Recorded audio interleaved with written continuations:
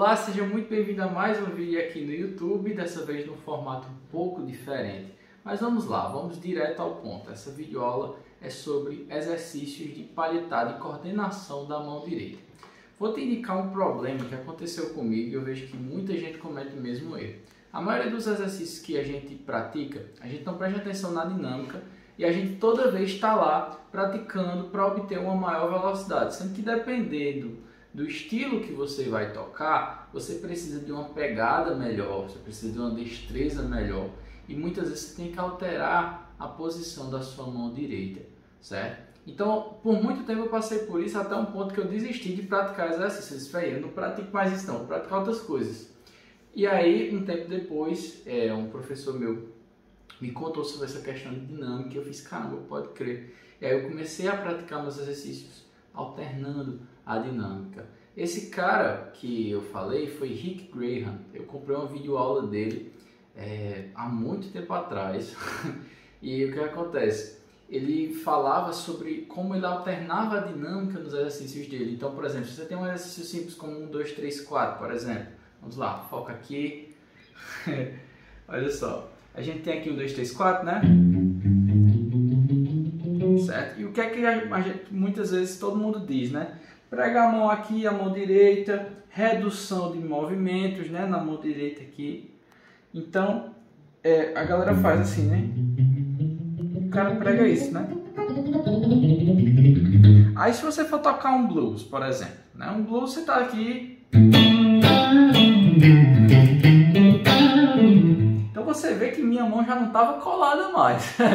então, o, o grande propósito de treinar a dinâmica quando você for fazer isso é justamente é, para quando você for tocar estilos diferentes, você ser capaz de moldar sua técnica de uma maneira diferente, beleza? Agora vamos lá. Se você está praticando um simples exercício de 1, 2, 3, 4, o que é que eu recomendo que você faça? Você vai praticar do mesmo jeito, sendo que você faz assim, ó. Fraco.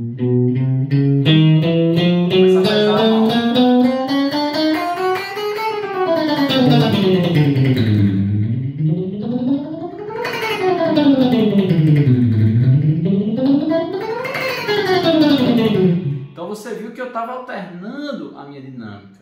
Então preste atenção nisso. Outra coisa que é importante é, você vai colocar mais força aqui, mais pegada, mas na sua mão esquerda você não deve passar essa força. Então você está tocando com pegada aqui, ó.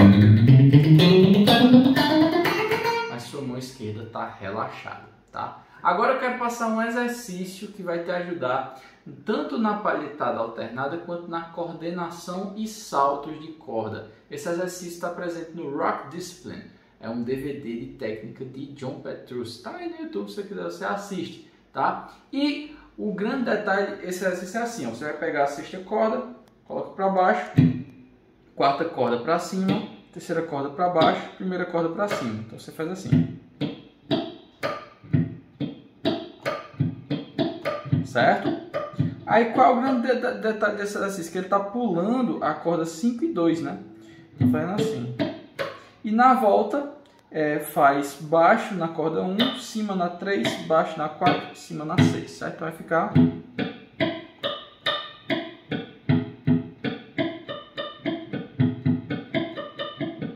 Sempre baixo e cima. Agora na mão esquerda, o que, é que a gente faz? A gente coloca como se fosse um 2, 3, 4 sendo que o 1 aqui na corda 6, o 2 na corda 4, o 3 na corda 3 e o 1 na corda, o dedo 4 na corda 1. E faz, e agora junta as duas mãos, né?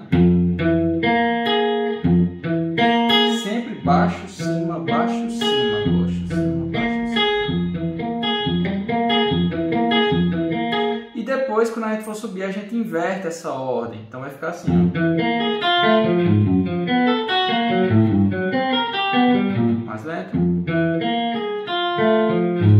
Avança uma casa e vai, vai subindo cromaticamente.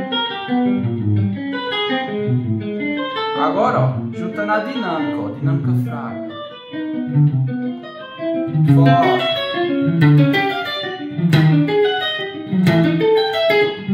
Então, agora eu coloquei a dinâmica, você viu como deu outro ar para o exercício. Quando a gente coloca essa dinâmica, a gente se força também a praticar de diferentes maneiras. Beleza? Galera, espero que vocês tenham gostado desse vídeo. Me diz aí nos comentários o que, é que vocês acharam desse exercício. E todos esses temas que eu estou trazendo aqui, a galera tá pedindo lá no Instagram.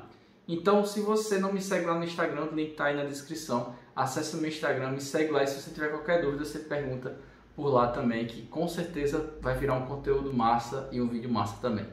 Valeu!